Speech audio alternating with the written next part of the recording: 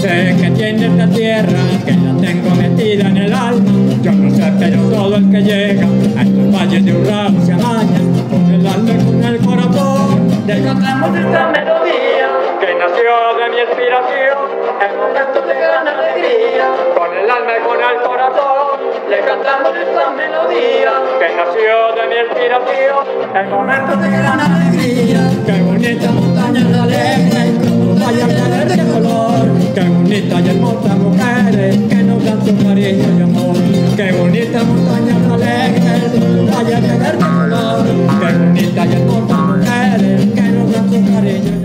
Bienvenidos, definitivamente, como cada ocho días es un placer contar con ustedes, con su presencia, por compartir con nosotros este maravilloso momento de Conectados, ese programa que siempre está ahí con ustedes cada ocho días para conocer historias, para enmarcar un poquito de esos elementos, de mucha tradición eh, que acontece a lo largo de nuestro territorio. Pues obviamente nosotros a través de Opur Televisión y a través de Conectados en nuestro canal 11 en el Digital 1 y ahorita Astri que ya nos está por allí eh, en un momento saludando, pues también nos dará a conocer en las redes sociales. Un abrazo bien especial para ustedes, siéntense incómodos, vamos a disfrutar de esta tarde maravillosa por estos días.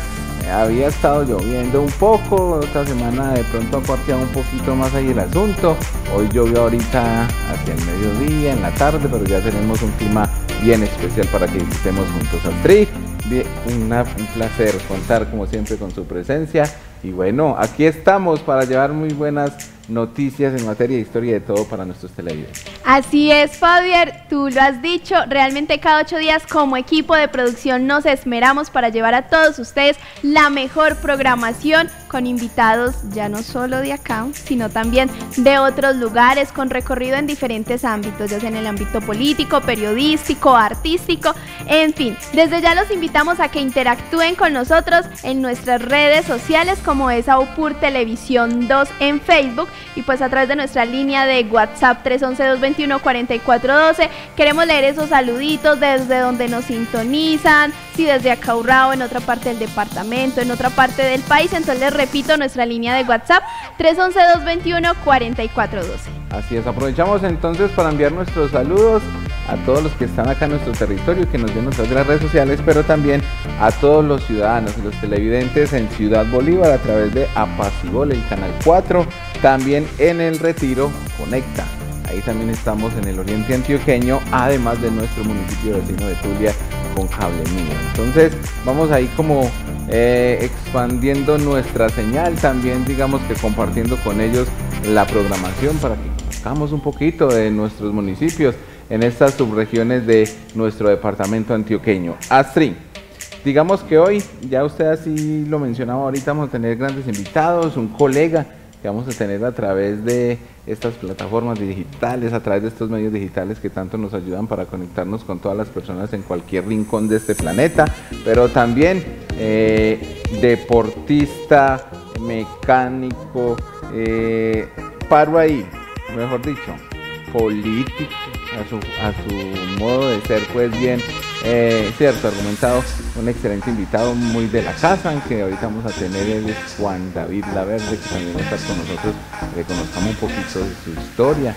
Le vamos a hacer una que otra pregunta, él verá si nos dice o no nos dice nada, pero aquí vamos a tenerlo en nuestro ser para que ustedes con nosotros eh, conversemos con él. Bueno, así, el elemento indiscutible de siempre, esta semana vamos a hablar de algo que ha sido a, lo largo de la historia, por lo menos en estos tiempos, muy determinante. Más, eh, digamos, en estos espacios y lugares donde no tenemos energía. Entonces, la radio, eh, en su momento incluso cuando se inició la televisión y muchas cosas eh, a base de la batería. Entonces vamos a hablar un poco de las pilas o baterías. ¿No le han dicho a usted, póngase las pilas, sí o no? Bastante. recargue baterías. Entonces vamos a hablar un poquito de las baterías. La mayoría de los historiadores sitúan el comienzo del desarrollo de las pilas a finales del siglo XVIII. Sin embargo, algunos descubrimientos arqueológicos podrían situarlo hace 2000 años. En 1938, Willem Koenig descubrió en Irak un vaso de cerámica de 13 centímetros que contenía un cilindro de cobre con una varilla de hierro en su interior. Koenig a partir de 1794 comenzó a experimentar con diferentes tipos de metales en sustitución de los tejidos orgánicos y en 1800 descubrió que colocando dos metales diferentes de forma separada dentro de un vaso conteniendo salmuera, que es agua y sal, se generaba igualmente electricidad. La primera pila eléctrica fue dada a conocer por Alessandro Volta en 1800 eh, mediante una carta que envió al presidente de Royal Society. Se trataba de una serie de pares de discos de zinc y de cobre separados unos de otros por trozos de cartón o fieltro que medían unos 3 centímetros. El invento consistía, eh, Faudier nos dice por aquí, eh, que también fue una novedad absoluta y gozó de un éxito inmediato y muy merecido, ya que inició la era eléctrica en que actualmente vivimos, al permitir el estudio experimental preciso de la electricidad, superando las enormes limitaciones que presentaban para ello los generadores electrostáticos, que son los únicos que existían hasta el momento. Oiga, genial, maravilloso. Ahí vemos entonces las baterías que han tenido como todo, digamos, elemento a través de la historia, pues una, digamos, adaptación y evolución según las tecnologías y las circunstancias. Primero, pues obviamente las baterías tenían menos durabilidad hoy, pues con las nuevas apuestas, ingenios, inventos y toda la investigación, pues se ha logrado tener el desarrollo de elementos más eh, digamos que tienen mucho más tiempo eh, en uso, por ejemplo, la radio para los celulares, para nosotros en el ejercicio diario lo utilizamos para nuestros micrófonos, para las cámaras. No he escuchado por ahí la gente con su radiocito terciado, gracias a que a poder tener una batería, aunque hoy ya está la forma de otras energías como la solar, pues sigue siendo la batería un elemento muy importante e indispensable. Trilla usted por ahí como que tiene conexión con nuestro primer invitado que nos saluda desde muchos kilómetros, cientos de kilómetros desde nuestro territorio. Así es, un saludo muy especial para, como usted lo, digo, lo dijo, un colega Mario Villalobos, periodista que nos está acompañando el día de hoy en Conectados. Realmente es un placer para nosotros que usted haya accedido a acompañarnos. ¿Cómo está? Astrid Fauder, un abrazo muy, muy grandote. Eh, un placer, por supuesto, acompañarlos a ustedes y saber de una tierra a la que yo quiero tanto como Antioquia, donde tengo grandísimos amigos, donde pasé eh, fines de semana enteros disfrutando del paisaje, de la generosidad de los antioqueños, de cómo nos reciben y, por supuesto, una tierra en la que uno quisiera alguna vez poder echar raíces y quedarse allá un buen rato, ¿no? Así que nada, aquí estamos con un placer enorme de compartir con ustedes pues una tierra en la que se amaña y que pues obviamente es bienvenido. En estos momentos usted desde dónde se está conectando con nosotros. Conectadísimo con Conectados desde Bogotá, desde mi casa, la tecnología como decía Faudier, pues hace maravillas, ¿no? Una cosa que hace unos 20 años eh, no hubiéramos eh, podido hacer, ¿no? Si hace 20 años hubiéramos visto las hazañas de Rigo arrancando en la, en la clásica La Pintada, hubiéramos eh, sabido de semejante genio del ciclismo mucho antes, ¿no? Pero bendito sea Dios, como dice el papá, aquí estamos conectadísimos. Bueno, perfecto. Yo voy a hacer una pequeña aquí reseña que nos han entregado Mario y le cuento pues que no le faltó ser sino cura, le cuento. Vea pues, Mario Villalobos tiene 33 años, ¿cierto? De comunicador social y periodista en Colombia, ganador del Premio Nacional de Periodismo Simón Bolívar, un excelente premio, digamos, por lo que luchan muchos de los periodistas eh, en nuestro país. Eh, digamos que dice por aquí premio Sociedad Colombiana de Prensa 2020, premio eh, Política 2020, ¿cierto? Ha trabajado en los noticieros de NTC, Uninoticias, Noticias 1, Canal RSN y Red Más Noticias. Ha sido periodista del Grupo Semana, bueno, experto en inteligencia artificial. Eso ahorita me va a causar a mí como un poquito ahí como de, curiosidad. De curiosidad porque todo un periodista y que me hablen de que es un experto en inteligencia artificial, ahorita me queda eso. Pero bueno, para entrar un poquito en el contexto, María, hablemos un poquito de esa carrera, digamos, del periodismo. ¿En qué momento empieza usted como a, descubrir, digamos, eh, eh, eh, ese, ese gustico por, por este medio que, digamos, muchos no lo consideran hoy como el medio profesional, pero que nosotros que a diario estamos ejerciendo sabemos que es una tarea muy bonita para hacer por la sociedad? Chicos, desde chiquito, me cuenta mi madre que cuando yo tenía 6 o 7 años de edad ya cogía el molinillo de batir el chocolate y empezaba a simular que era un micrófono y empezaba a entrevistar a la familia y a los vecinos y a todo el mundo.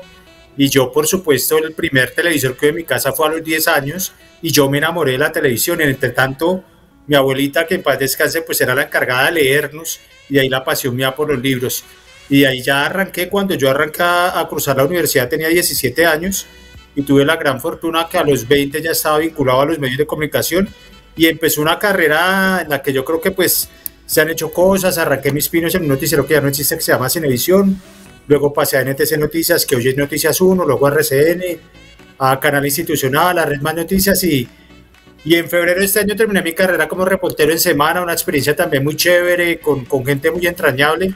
Y a lo largo de estos años pues... Eh, digamos que me entró también el gusanito digital y a la par que hacía todo eso, pues saqué tiempo para hacer un, una, un posgrado en, en, narrativa transmedia, una maestría en periodismo digital e inteligencia artificial y empezamos a sacarle tiempo a Confesiones de una bruja, que es el libro que estamos lanzando con Testigo Directo Editorial. Usted ahí nos acaba de dar pie para la pregunta que ya le iba a realizar y es que son 33 años aproximadamente en ese recorrido como periodista que miles de experiencias, de historias le ha tocado también escuchar y acontecimientos que le ha tocado vivir cómo es ahora estrenarse como escritor y qué parte de su ámbito periodístico le ha servido o lo ha marcado, digamos, en esta nueva etapa que usted comienza como escritor. Astrid, todo, todo. O sea, a mí me tocó desde el huracán en Providencia hasta la caída del avión de Chapecoense, pasando por esa época oscura que vivieron ustedes en Urrao y en los municipios vecinos, de toda esa violencia de los grupos armados al margen de la ley y una cantidad de, digamos, de, episodios periodísticos que lo, lo único que hacen es alimentarlo a uno a la hora de sentarse con una hoja de papel en blanco, piensa de papel físico o frente a un computador a escribir algo, ¿no? Yo creo que no podría yo intentar dar el salto a este pichón de escritor sin haber tenido todo ese, todo ese bagaje, toda esa cosa hermosa que, que he recibido a lo largo de, de, de estos 33 años como reportero, porque yo siempre he sostenido que el periodismo es una enfermedad terminal. Uno de estos se muere, uno se, se va de este mundo y va a seguir siendo periodista y uno espera siempre dejar huella. Así que cada cubrimiento, cada cosa que yo hice como reportero o que he hecho como reportero, pues me ha alimentado muchísimo y me ha servido ahorita para, para intentar dar un paso en, otro, en otra dirección, pero siempre tratando de cumplir con el cometido que tenemos nosotros eh, adelante y atrás de las, de las cámaras, que servir a la gente, ¿no? Bueno, Mario, antes de que, eh, eh, digamos, entremos en, esa expectativa de lo que es ese título del libro, pues como usted lo manifestaba, uno siempre en el diario vivir así, esté o no laborando, tiene un qué, un cómo, un por qué, un cuándo, siempre está buscando una respuesta. Eh, digamos que esas respuestas en ese escenario que hemos vivido nosotros como colombianos, por el tema de violencia, por el tema de de todo esto que nos lleva, ¿cierto? Como sociedad a ir evolucionando. Digamos, ¿qué lo ha marcado a usted más eh, en esa trayectoria como periodista? Eh, sabiendo que en muchos momentos, como decimos, por el medio y por, lo, por las palabras que decimos y por quien abordamos podemos poner en riesgo incluso nuestras vidas. ¿Qué ha sido como eso más satisfactorio, pero también eso más difícil del periodismo? Faudier, definitivamente la clase de gente que somos. O sea, este país, para decirlo en términos paisas, es un país muy berraco, eh, con una gente que se le mide todo, ver como un colombiano le pelea la vida, le saca comida a las entrañas, a la tierra, rebusca, vuelve, intenta, vuelve y se cae. Es imposible no enamorarse de la gente en Colombia y a uno como reportero eso lo marca. Hace unos años cuando tuve la oportunidad de ver eh, cuando cayó el avión de Chapecoense, yo ver la gente que dejaba sus trabajos, a sus chicos rápidamente en los jardines infantiles para ir a ayudar a rescatar los heridos, eso es una cosa que a uno se le pega al alma, ¿no? Eh, ver la gente cómo vuelve y empieza después de una tragedia como la que se vivió con esa época violenta de, por cuenta de la guerrilla y de los paramilitares y ver los que perdonan, eh, dibuja el alma y la grandeza del alma de un colombiano. Eh, digamos que uno todo lo marca, los descubrimientos pequeños, los grandes, los importantes y eventualmente los que menos, pero siempre uno dice, ¿Por qué si un colombiano es capaz de matarse por darle de comer a una familia, a su familia e incluso a un extraño, chicos? ¿Por qué yo como reportero no lo hago y no me mato también para servirle? Y eso es parte de la motivación que uno tiene todos los días como reportero para pararse para seguir adelante y para volver a contar un país que necesita ser contado siempre, ¿no? Usted ahí también ahorita nos comentaba que en toda su trayectoria buscaba dejar un legado, porque sí o sí como periodista ha tenido esos hechos que lo han marcado y pues según le entiendo usted también desea marcar a las diferentes generaciones a través de su labor y de su servicio. ¿Cuál es ese legado que usted piensa dejar o transmitir a través del libro Confesiones de una bruja? Mira, no solamente desde el libro, sino desde el ejercicio periodístico, yo creo que es decirle a la gente, crean en lo que se proponen, crean en los sueños. Confesiones de una bruja arrancó hace 21 años y hubo muchísimas dificultades para hacerlo, operativas, logísticas, de seguridad, de falta de tiempo, de amenazas de muerte a la protagonista, etc. Eh, y Dios crea siempre las condiciones. Hace unos 4 o 5 meses me encontré yo con Rafa Poveda en la Feria del Libro de Bogotá y y me invitó a tomar este camino y me dijo, yo sé que tú puedes y tienes mi respaldo. Y Rafa es un amigo incomparable que cree en mí. El legado siempre es creer en uno mismo, chicos. Decirle a la gente que no renuncie a soñar, que no renuncie a que pueda hacer lo que se propone con algo que a los colombianos nos sobra, que es disciplina. Hemos luchado contra todo, contra la naturaleza, contra la corrupción, contra eh, la indiferencia de algunos de nosotros, pero siempre eh, mi legado debe ser, eh, o el legado que yo espero dejar es decirle a la gente, no dejen de soñar porque Dios abre los caminos. Dios o esa fuerza superior en la que cada uno cree que es muy respetable, abre los caminos, pero hay que hacerlo con disciplina, con dedicación, con responsabilidad.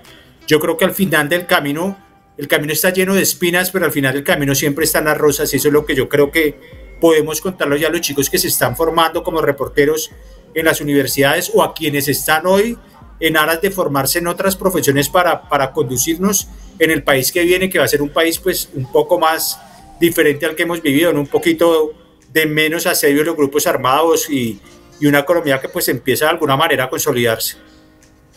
Bueno, María, ya hablando del libro Confesiones de una bruja, no sé si pueda decirse así en un nombre como bastante subjetivo, como que lo pone uno a pensar y analizar y bueno, qué historia se va a desarrollar aquí, qué nos van a contar. Eh, cuando usted dice, por ejemplo, y ahí un contexto general de que los 70 años desde que vivimos, digamos, una violencia que hace mucho más años la vivimos, pero que a partir de ese momento, digamos, usted cuenta su historia con este personaje, eh, digamos, contémosle a las personas, básicamente, qué vamos a encontrar eh, históricamente en ese libro que usted plasma hoy, que pues seguramente también le ayuda mucho el ejercicio del periodismo durante todos estos años. Fauder, lo que vamos a encontrar es la historia de la Colombia de los años 70 hacia acá. Eh, en el año 94, si mal no estoy, el maestro Germán Castro Caicedo en La Bruja, que fue la primera obra que se escribió sobre una satirista en Colombia, habló sobre el nacimiento del, del, narcotráfico y de cómo había protagonistas eh, ligados al narcotráfico y a la brujería. Este es el contexto, en un mismo contexto, pero mucho más amplio. Lo que van a encontrar en Confesiones de, una bruja es la historia de una mujer que nació con el don de la sanación, eh, provisto por un, por un espíritu venezolano que posee su materia, pero que aprende también simultáneamente a hacer magia negra de la mano de su abuela.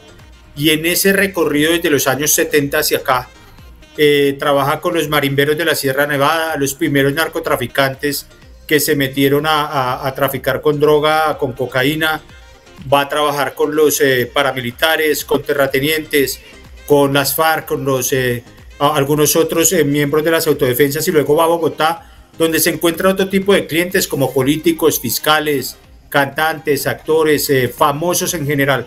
y cada uno de esos capítulos narra una Colombia diferente. Arranca en una Colombia rural en el Magdalena Medio y termina en la fría Bogotá, donde ella encuentra otro tipo de gente y otro tipo de relatos, pero lo que es común es siempre cómo los criminales, los poderosos y los famosos recurren a la brujería para intentar resolver los problemas que se les presentan. Eso es básicamente como el, el relato que se narra en Confesiones de una bruja. Bueno, Mario, ahora entonces eh, compártanos dónde se puede conseguir el libro de todas esas personas que están interesadas en conocer esta historia y la recopilación de todo este trabajo que usted nos acaba de compartir. Aquí lo tienen en físico, ya lo pueden comprar en www.testigodirectoeditorial.com, ahí lo pueden encontrar todavía en formato físico, se lo hacen llegar a su casa o también en formato eh, descargable. E igual lo pueden comprar en todas las librerías del país, en la Panamericana, en la Lernen, en la Nacional y si lo hacen por la página de, de nuestra editorial testigo directo editorial.com, eh, pues lo pueden recibir en la puerta de su casa. Así que digamos es un, un relato que narra la Colombia que mucha gente desconoce cómo la magia negra y el poder siempre han ido de la mano, cómo los poderosos, los famosos eh, han recurrido a las brujas y estamos hablando de cantantes muy famosos, de fiscales, de políticos, de senadores que eh, fueron determinantes para lo que vino en la, en la historia política de este país y de una cantidad de gente que seguramente ustedes se van a sorprender y cómo el colombiano siempre trata de buscar explicación a lo que no puede eh, en la brujería, en el esoterismo. Yo en lo personal era muy incrédulo y déjenme contarles una anécdota muy corta. Yo conocí a la protagonista del libro en el año 99, yo no creía en este tema, la abordé por una entrevista y al final de esa entrevista ella me dijo, ven que yo te quiero tirar las cartas, el tarot, y yo le dije, no, mira, de verdad no me interesa. Ella me dijo, mira, te lo voy a hacer gratis, yo cobro a precio de hoy, chicos, tal vez como un millón y medio de pesos, y yo insistí en que no quería, y finalmente ella de un momento a otro me dice, ven que yo necesito que hablemos de tu mujer y tu hija. Y yo me quedé totalmente sorprendido porque hacía media hora la había conocido, no tenía por qué saber de mi vida personal. Para hacerles el cuento corto, me dijo dos cosas luego de tirar las cartas eh, predijo que yo me iba a divorciar menos de seis meses después y que en el año 2000, por la época de mi cumpleaños, iba a recibir un reconocimiento por mi trabajo y efectivamente tres días después de mi cumpleaños recibí el primero de los tres premios Simón Bolívar que me han otorgado. Y de ahí empezó una relación como en el que yo iba a ver cómo era que ella hacía sus cosas y empecé a frecuentarla y empecé a ver cómo todos estos famosos, poderosos y algunas personas al margen de la ley iban a pedir a ella que le hiciera hechizos blancos y negros para tratar de solucionar todo eso. Y eso es lo que está narrado aquí para que ustedes puedan leerlo con tranquilidad. Es una, narración de cómo Colombia cambia alrededor de esas 30, 40 años en que ella lleva ejerciendo, pero también cómo esos poderosos criminales y famosos buscan respuestas a cosas que no pueden creer. Perfecto, maravilloso Mario, muchas gracias. Me causa un poquito también como de expectativa ese tema de esa portada preliminar, porque pues uno le hablan de brujas y no se imagina una imagen no tan agradable, ¿cierto? Más bien, eh, pero lo que vemos aquí es cierto, esa imagen ahí de, de la señora de, de, quien es la protagonista, pues digamos como que acercando también al televidente para que no tenga miedo de leer esa realidad que tenemos en nuestro entorno. Mario, muchas gracias. Yo creo que le va a tocar pegarse en algún momento la voladita, venirse por aquí a Urrao. Aquí lo recibimos con unos frijoles con chicharrón. Yo no sé si el médico le quitó el chicharrón, pero aquí lo esperamos para que compartamos también experiencia. ¿Qué tal? Sería bueno. Usted, por ahí usted eh. tiene mucho conocimiento y podría compartirlo con nosotros. Claro que sí, si hay algo a lo que jamás voy a renunciar es a la buena cocina antioqueña, una tierra de, de todos mis amores, de todos mis amores, amigos absolutamente entrañables, gente a la que yo adoro, que la llevo en el corazón y si hay algo que yo adoro en la vida de los antioqueños es esa generosidad desbordada para recibirlo a uno con, frijoles y guaro delicioso.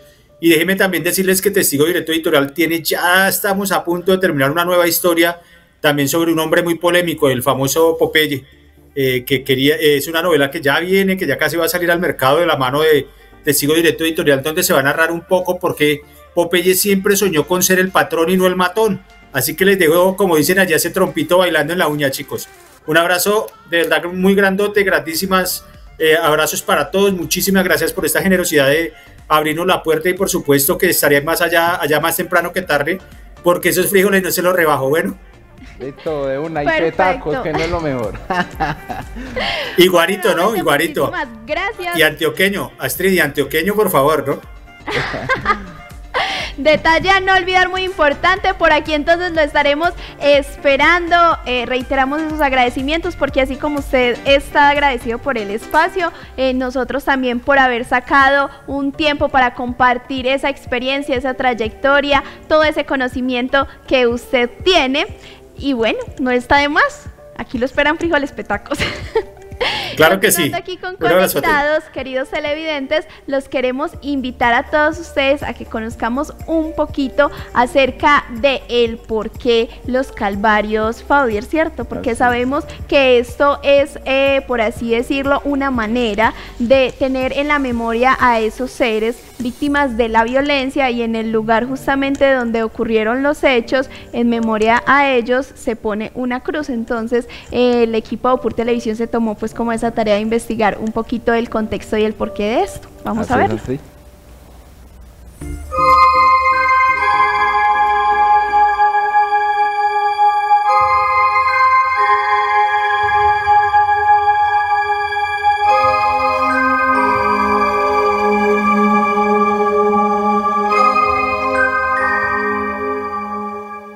Históricamente y asociado a los eventos bíblicos de sufrimiento y muerte, el Calvario, también conocido como el Gólgota, lugar de calavera, fue al parecer un sitio que se encontraba cerca del exterior de las murallas de Jerusalén. En este lugar, según los evangelios, fue crucificado Jesús de Nazaret. Analizamos este argumento para hablar hoy de los Calvarios, lugares que se encuentran en su mayoría en zonas rurales y que permiten en muchos casos la recordación de una persona que falleció por un suceso determinado. Miren cómo Jesucristo en el momento de expirar dice, Padre, en tus manos encomiendo mi espíritu. Entonces, eso es lo que queda, eso es lo que queda. Y por eso entonces, eh, ay, es que yo oí, yo sentí, yo... No, es el amor. Es el amor el que no muere, es el amor el que está ahí, es que frente a esa realidad del amor no queda otra manera de expresarlo que a través de un simbolismo. Y ese simbolismo en nuestra vida, en nuestra religión, en nuestra tradición, está representado en los calvarios. Si bien encontramos a lo largo y ancho de nuestro territorio sitios donde hay uno o más calvarios, hacemos mención de los lugares que han quedado en la memoria de familiares y sociedad en general.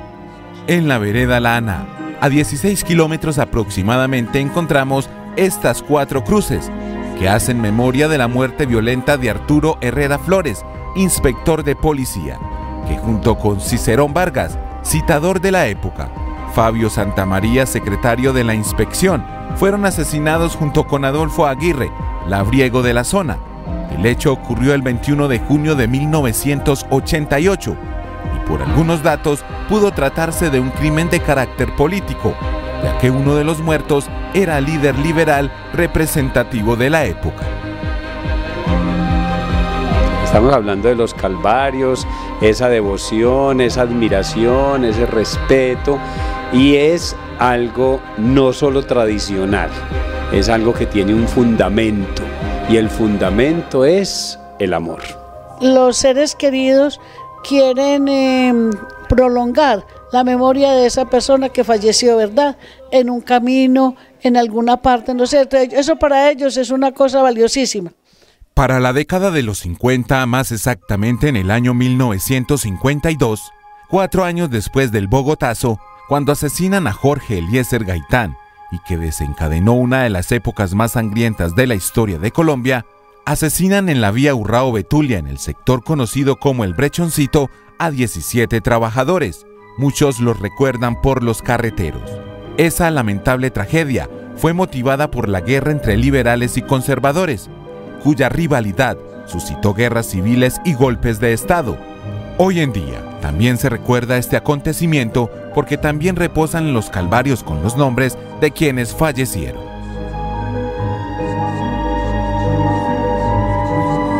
La cruz es un símbolo sagrado.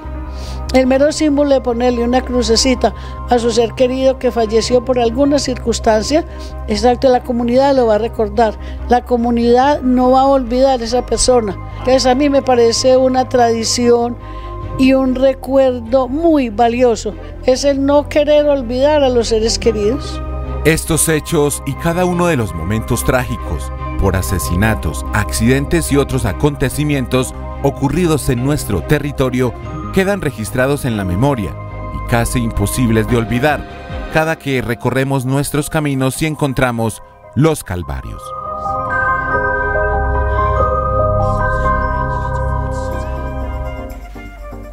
Ahí conocimos un poquito acerca del por qué esta tradición de los calvarios y como esto es un magazine, Fabián, es decir, que tenemos todo tipo de contenido entretenido y todo tipo de invitados. Hace poco tuvimos a un periodista y ya estrenándose como escritor. Nuestro próximo invitado es un deportista, ciclista y mecánico. Él es Juan David Laverde. Bienvenido aquí a Conectados. Sí, muchas gracias. Fabián, muchas gracias. Muchas gracias a UPUR por este espacio que brindan para contar historias a través de formaciones, de historias que vienen de años y que no se pierden en la trayectoria, porque pues es la única forma donde realmente se puede tocar la puerta de la casa y que la gente conozca un poco de esa sonrisa que se ve en la calle, a ver la persona y mirar la historia de ese legado que tiene hacia atrás.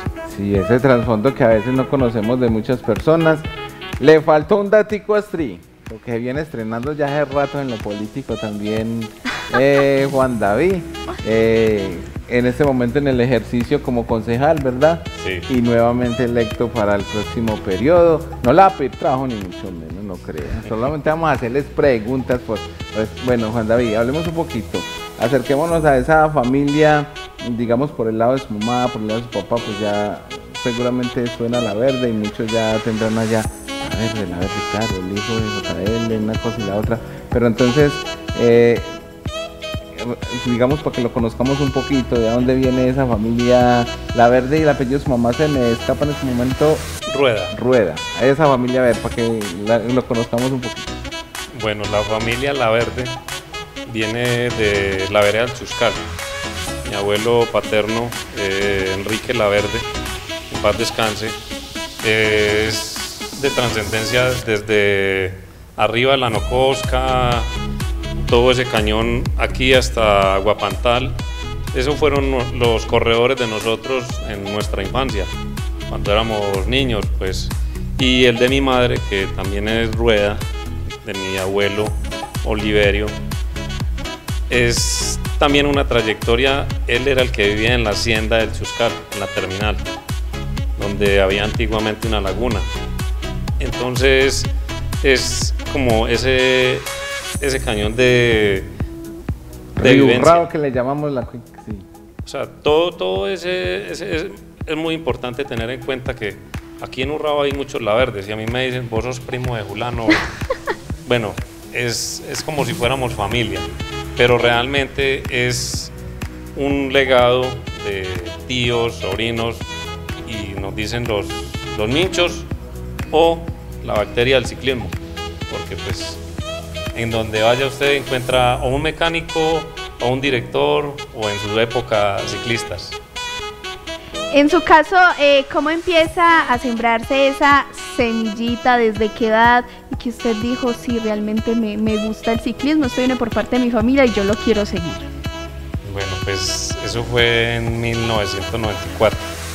A la edad de 8 años que yo tenía memoria y recuerdo, mi papá me dijo, bueno, a partir de hoy usted va a aprender a, organizar bicicletas y va a empezar a ganarse con qué comprar un lápiz, un cuaderno, para que vea cómo se gana uno la vida. Entonces él me regaló las parchadas y yo empecé pues esa trayectoria y me empezaron a apasionar las bicicletas.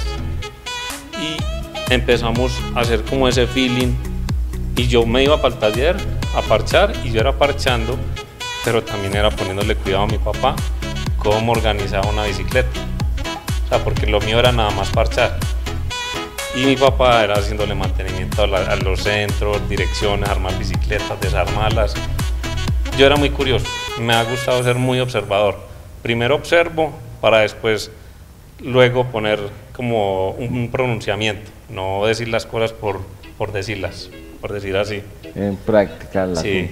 Entonces ahí empezamos como con, con esa inyección de la bicicleta, la grasa, y todo eso me fue apasionando, me fue familiarizando con, con ese ser que hoy soy en día y le agradezco a mi papá porque, pues, imagínese, ocho años y uno en un taller engrasándose, es algo pues como que uno dice, no, pues que eso, eso eran los juguetes y esos fueron los juguetes míos. La bicicleta, bueno, en un principio el medio de transporte, digamos, para muchos campesinos, para ir y venir de las veredas, de las fincas, pues digamos que no había tanta fiebre por el ciclismo, eh, digamos hoy como lo, como lo hacen en el ejercicio que no es profesional, sino por pasión, por gusto. Sin embargo, empieza ahí. Entonces, ¿en qué momento se sube a esa primer bicicleta, Juancho, y, arranca ese proceso? Porque eh, no sé si recuerda, de más que sí, muchos de esos compañeros con empezó sus primeros pinitos en la bici. Sí, eso fue en el 96, 1996, después de llevar una trayectoria con lo que estaba haciendo, que me enseñó mi padre. Empezamos Pánfilo, me recuerdo, y mi persona.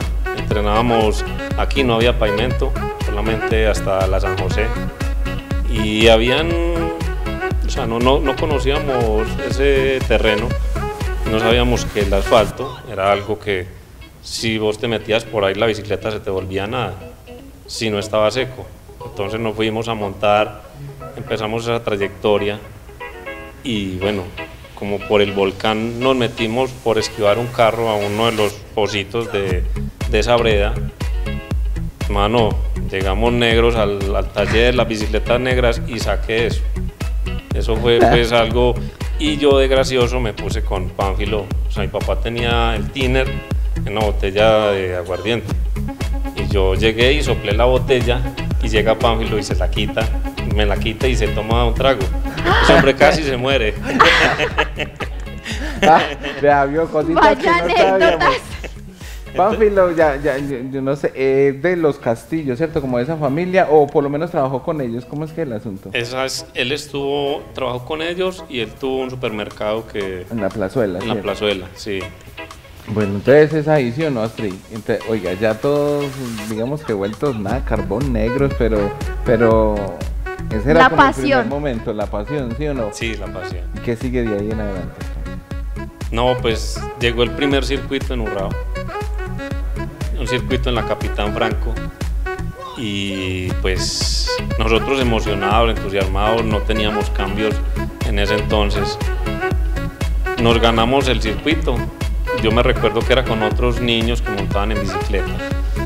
Y pues cuando llegó la hora de la premiación, normalmente a uno le dan un trofeo, una medalla o algo significativo del deporte. Van saliendo con un balón de fútbol y unas medias de fútbol.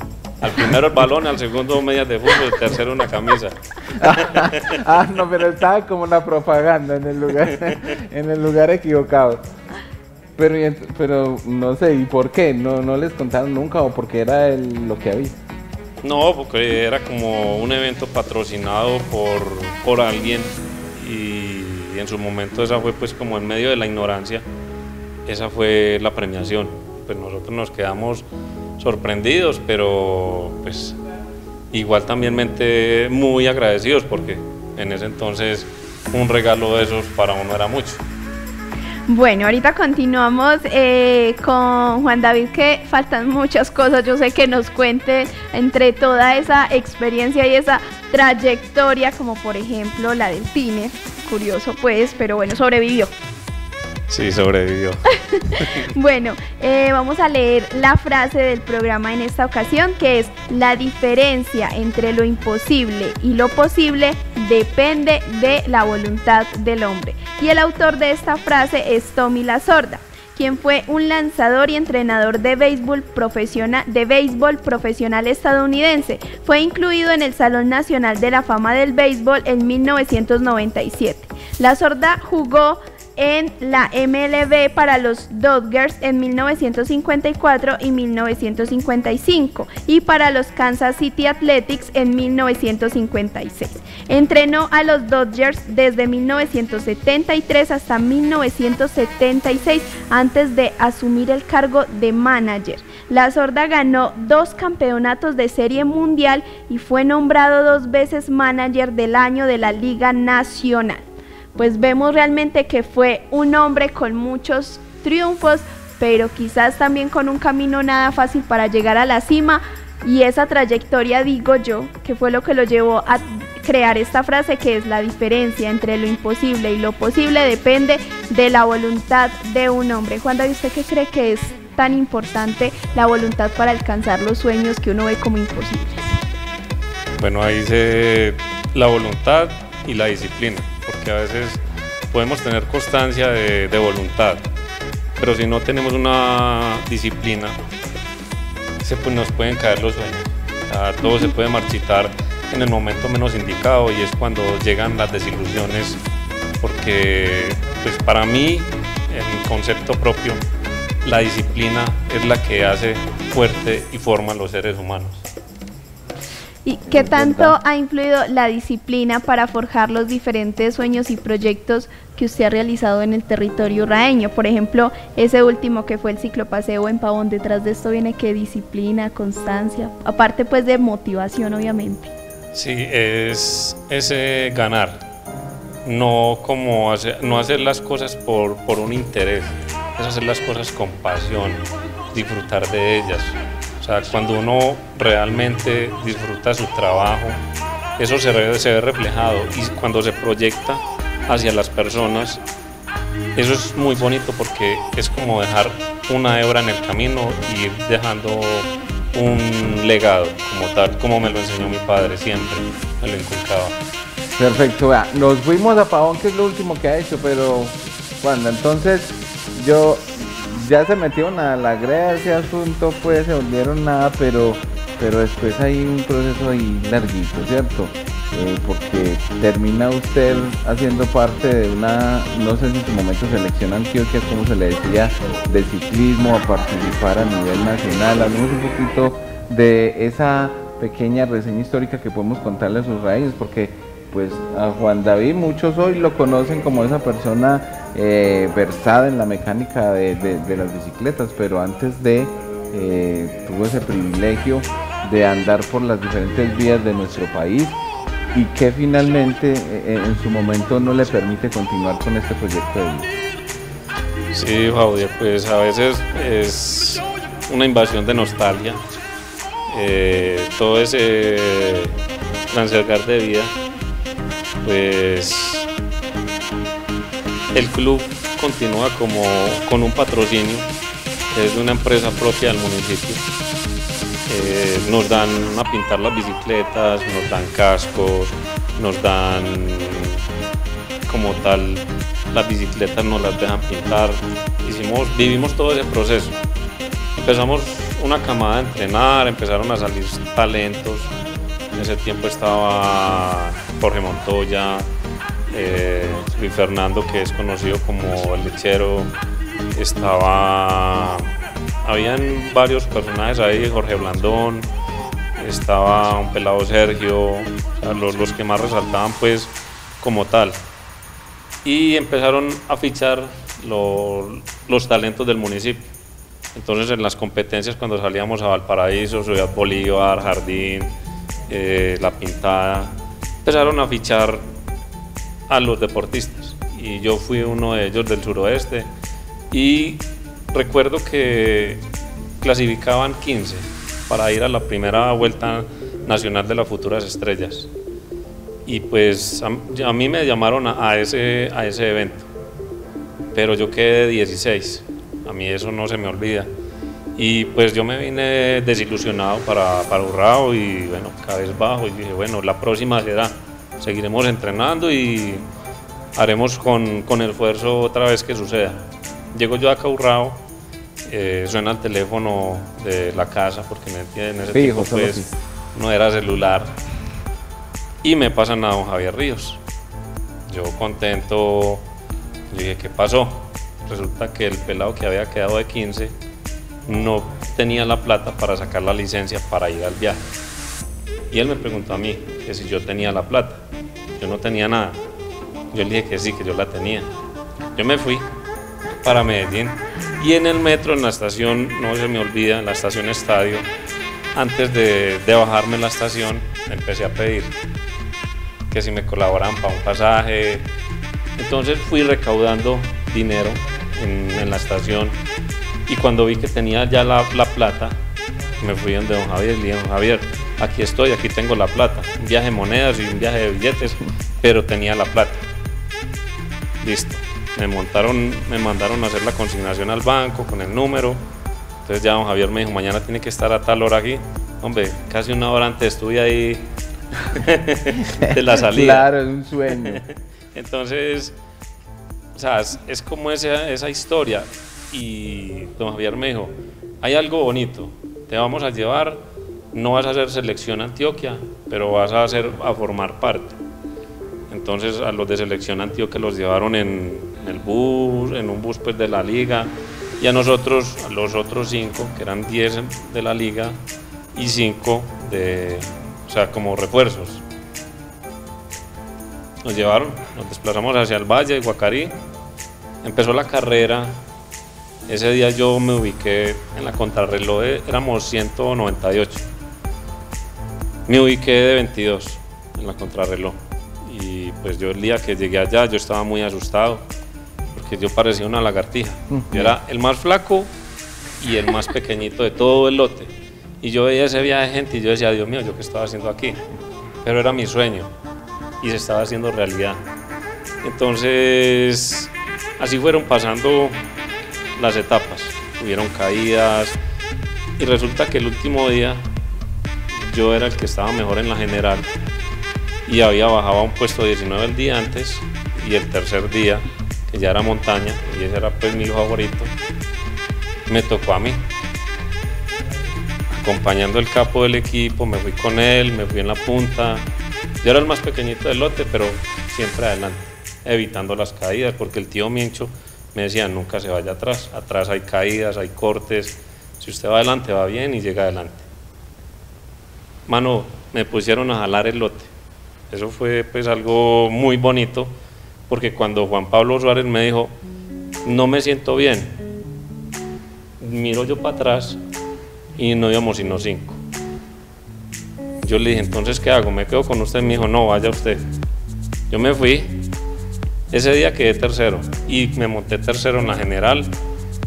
Y pues, mejor dicho, cuando terminé la etapa, que terminó la, la carrera, don Javier me dijo, no, venga, para que firme el contrato para el año entrante con el equipo del Orgullo Paisa, usted se va a ir con nosotros en el carro del equipo. Me parecía un rey.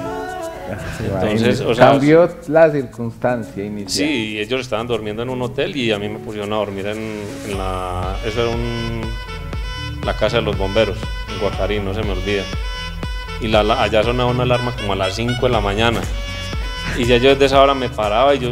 La carrera salía como a las 8 y yo decía, ¿yo qué voy a hacer? Me iba a andar por el parque. y- pero bueno, son, son historias que le van quedando a uno en, en lo largo de la vida. Muy bonito también el ver que usted eh, logró cumplir pues sus metas, pero no frenó ahí, sino que también dijo, bueno, yo tuve la oportunidad, recibí un aprendizaje por parte de mi papá, un legado por parte de mi familia y ahora lo está transmitiendo y está dejando también ese legado a otras generaciones. Para mí es, es un orgullo, porque yo cada que hago una empatía, un empalme y toco vidas a través de, de lo que yo hago, que es la mecánica, porque pues desafortunadamente a nosotros los mecánicos nos ven como los grasientos.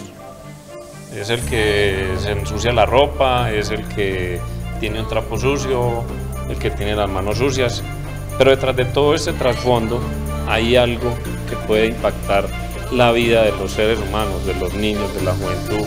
Incluso yo me encuentro con padres de familia, de niños que he entrenado y me dicen, profe, yo no pensé nunca en la vida que yo me iba a montar en una bicicleta. Me la mandó el doctor y estoy enamorado de este deporte.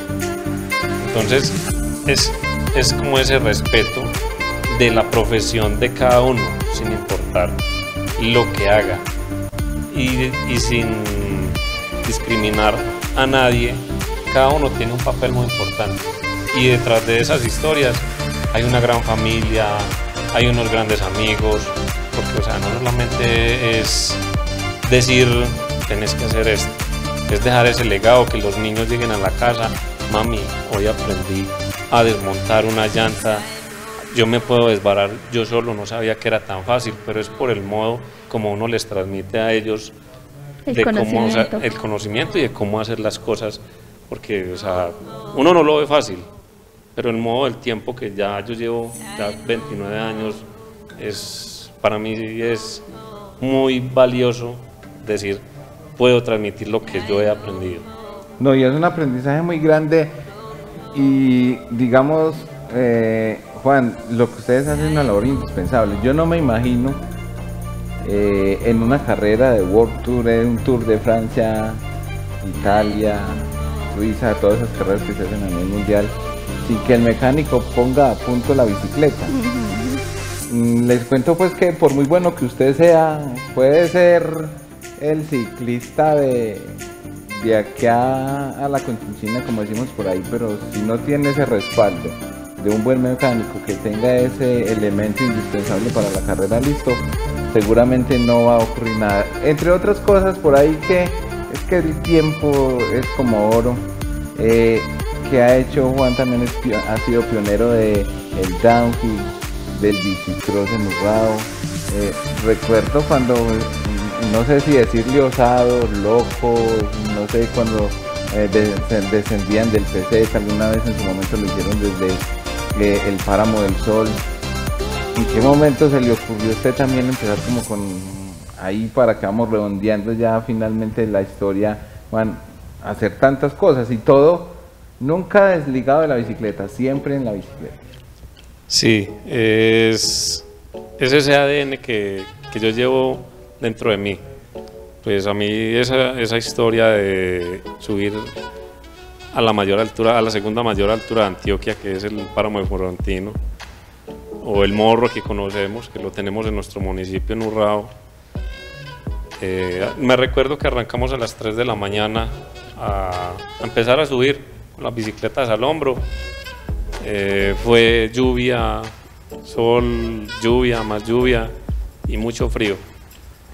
Y pues llegamos arriba, nos tomamos fotos, hicimos pues la bandera de Antioquia y luego nuevamente hacia abajo, 6 de la tarde, fueron 15 horas que estuvimos en eso.